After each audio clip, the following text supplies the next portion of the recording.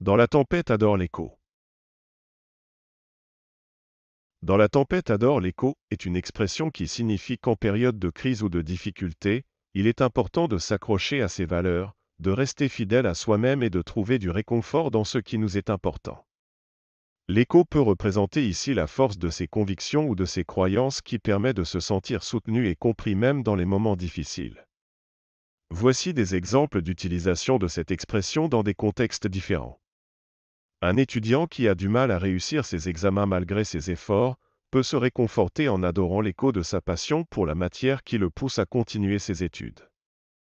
Un entrepreneur qui doit affronter une situation délicate dans son entreprise peut se raccrocher à sa passion pour son métier et ainsi trouver l'écho nécessaire pour continuer d'avancer malgré les obstacles.